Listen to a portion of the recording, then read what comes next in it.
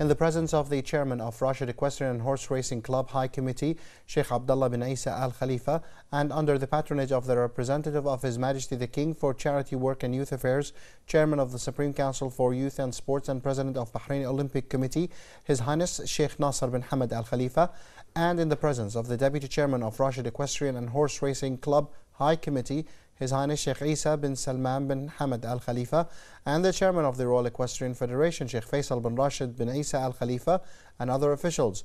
The Rashid Equestrian Horse Racing Club organized this afternoon the 16th horse race meeting of the season, which was held for the cups of His Highness Sheikh Nasser bin Hamad and his children, Sheikh uh, Shima, Sheikh Hamad, and Sheikh Muhammad. The first race was won by Ritot, owned by H&R Stables. The second race was won by Ghafia, owned by Al Mallah Stables.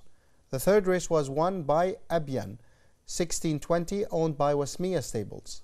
The fourth race was won by Thor Khail Star, owned by His Highness Sheikh Hamad bin Isa bin Salman Al Khalifa.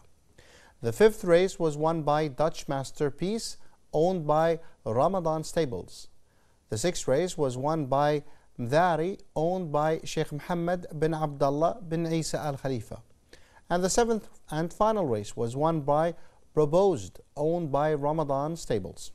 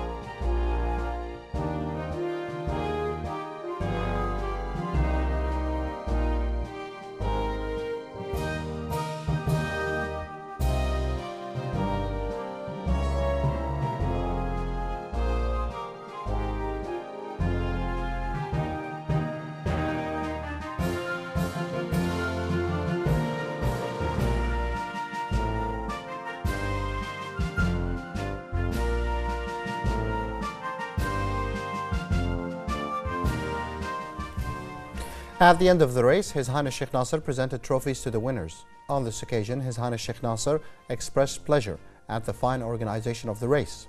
He also hailed the efforts of the Rashid Equestrian and Horse Racing Club High Committee, led by Sheikh Abdullah bin Isa and Sheikh Isa bin Salman, as well as all members of the committee. He stressed his keenness to support the efforts of Rashid Equestrian Horse Racing Club High Committee, which go in line with the directives of His Majesty the King to provide appropriate care to all types of equestrian sports in the kingdom. He commended the levels of performance and competition in the race, congratulating all the winners and wishing them success.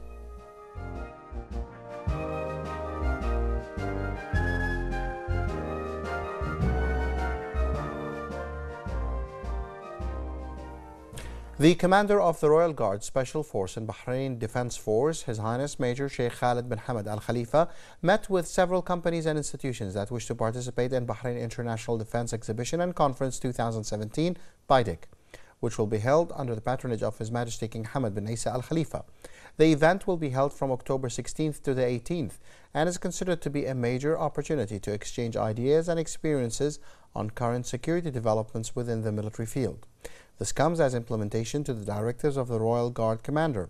President of the High Organizing Committee for BIDEC 2017, His Highness Brigadier General Sheikh Nasser bin Hamad Al Khalifa, as His Highness Major Sheikh Khalid reviewed the company's and organization's program and the advanced techniques and the latest military developments they will present. His Highness expressed pride and gratitude in the Kingdom of Bahrain hosting this international military exhibition, which will be held under the auspices of His Majesty the King. His Highness stressed that this international exhibition will have a positive impact on Bahrain Defense Force to help keep up with modern development in military systems. He explained the participation of the Saudi-led Arab coalition to restore legitimacy in Yemen and the North Atlantic Treaty Organization NATO is a clear indication of the importance of the event. The Minister of Information Affairs, Mr. Ali bin Muhammad Al Rumehi, affirmed that the ministry has supervised and evaluated Bahraini media inside and outside the kingdom over the past few months. He noted that the aim of the evaluation is to develop Bahraini media output and to develop a strong unified vision based on facts to help the kingdom face all the threats and challenges. The minister highlighted the royal decree to establish a national telecommunication center aimed at unifying the government's media message based on a clear agenda. The center is responsible for creating and implementing plans and strategies for the government. It's also responsible for promoting Bahrain at legal and political levels, as well as for dealing with the tenderest propaganda that targets the kingdom.